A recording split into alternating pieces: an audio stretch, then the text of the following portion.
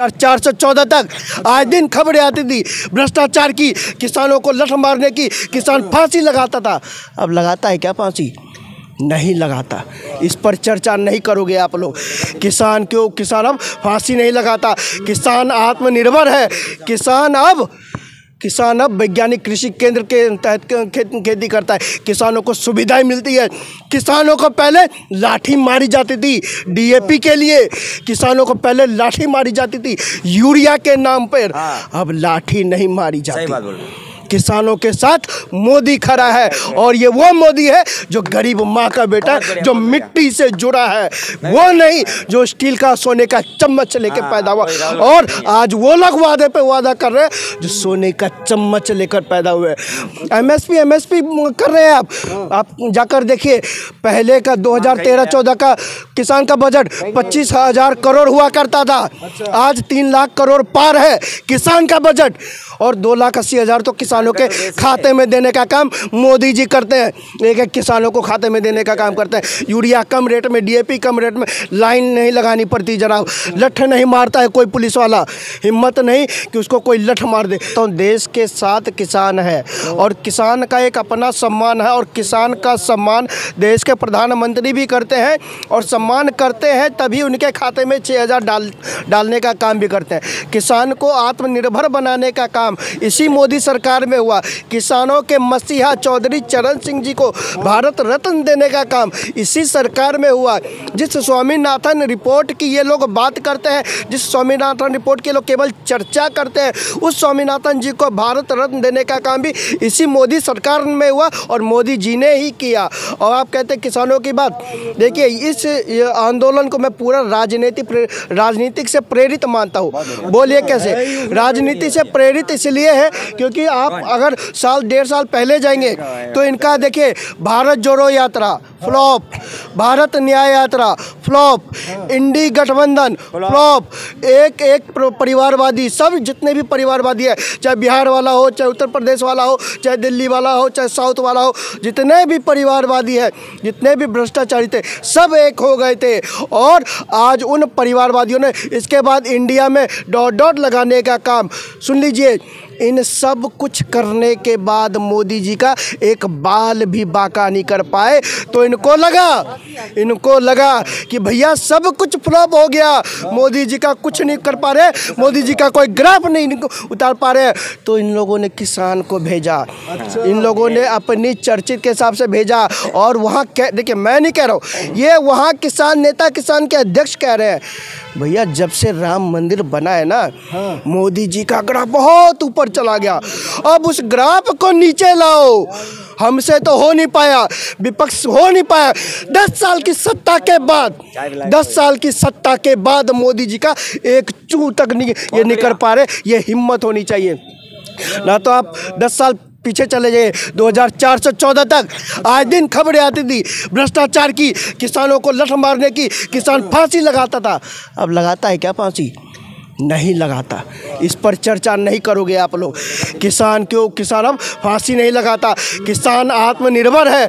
किसान अब किसान अब वैज्ञानिक कृषि केंद्र के तहत खेत खेती करता है। किसानों को सुविधाएँ मिलती है। किसानों को पहले लाठी मारी जाती थी डीएपी के लिए।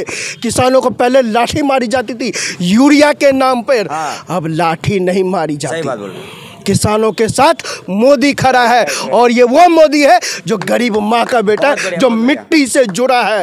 वो नहीं जो स्टील का सोने का चम्मच लेके हाँ, पैदा हुआ। और आज वो लोग वादे पे वादा कर रहे हैं जो सोने का चम्मच लेकर पैदा हुए।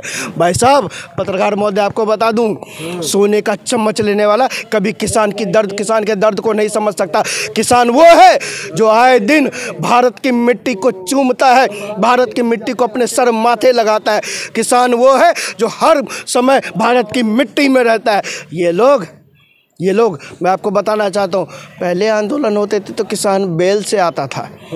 अब के किसान Tata Safari Thar Fortuner BMW tractor उस पर दस लाख का डीजे इतना बदल गया किसान।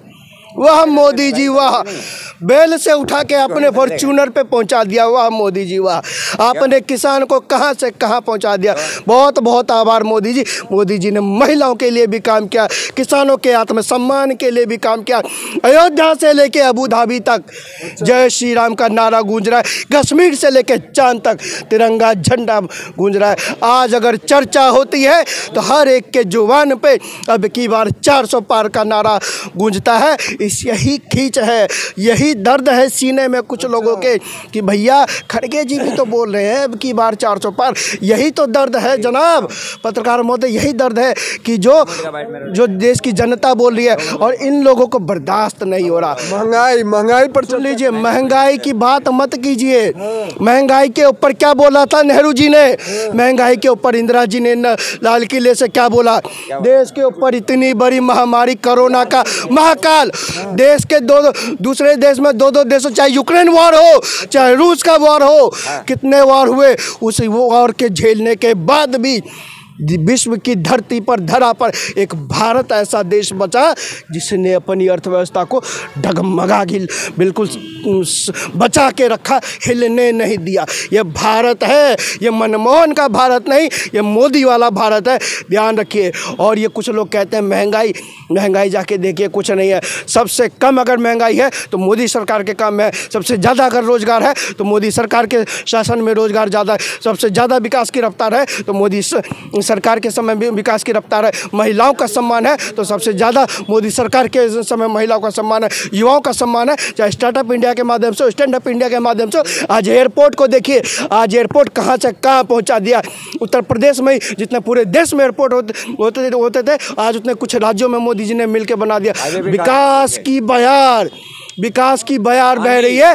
और अयोध्या से अबू धाबी अमेरिका स्विट्जरलैंड जितने भी विदेशी राष्ट्र हैं आज जितने हमारे देश के कुछ नेता अच्छा। जितने भारत में खड़े होकर रैली करते हैं मोदी जी की रैली में उतने भीड़ तो विदेश में जमा हो जाते हैं और विदेश के राष्ट्राध्यक्ष भी चौंक जाता है। तभी तो विदेशी धरती वाला नेता विदेशी धरती वाला नेता कहता है मोदी इज़ द बॉस। अच्छा। ऐसे नहीं कहता। विदेशी धरती का नेता मोदी के पाँव को छूने का काम करता है क्योंकि उसको पता है ये मोदी देश की मिट्टी से जुड़ा है और ये देश के मिट्टी में जड़े हुए लोगों को की सुनवाई करता है उनको सहायता देने का काम करता है। इसलिए अंत करता हूँ। अंत करता हूँ। किसान जितने भी हैं समझे?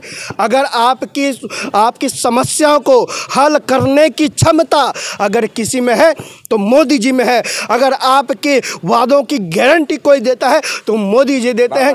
आपको आपकी आपका जो आय है उसको डबल करने की अगर गारंटी कोई देता है तो भी मोदी जी ही देते हैं। कुछ लोगों की राजनीति पे मत जाइए और देश को तोड़ने की साजिश करने वालों का विरोध कीजिए और फिर से मोदी जी का कमल का बटन दबाइए। 400 पार कराइए। भारत माता की जय। धन्यवाद। ये सब वीआईपी किसान हैं। कांग्रेस के बहकाए कांग्रेस के भड़काए हुए लोग हैं। बड़े भड़काए हुए हाँ जी हाँ ये राहुल गांधी के भड़काए हुए लोग हैं ये जितने भी हैं। ये सत्ता में आने के लिए कांग्रेस के पास कुछ है नहीं। उसको कुछ ना कुछ तो चाहिए। कभी किसान कभी कभी कभी किसान नाम पे लड़ाओ लोगों को कभी जात पात के नाम पे लड़ाओ लोगों को। किसी तरह तक खजाने तक पहुंचो, खजाने को लूटो और खजाने को लुटाओ। इनका ये एजेंडा है। धन्यवाद।